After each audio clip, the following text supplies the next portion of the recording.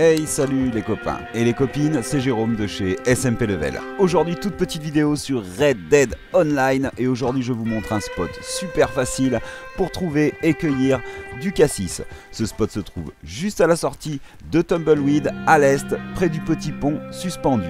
Allez, je vous souhaite une bonne journée ou une bonne soirée à tous. N'oubliez pas si la vidéo vous a plu de nous laisser un petit commentaire, de cliquer sur le pouce bleu et de vous abonner, ça coûte rien et ça nous fait grave plaisir. Bref, bon visionnage à tous, je vous dis à très bientôt et n'oubliez pas si vous sortez, sortez couvert. Ah ciao, bye bye.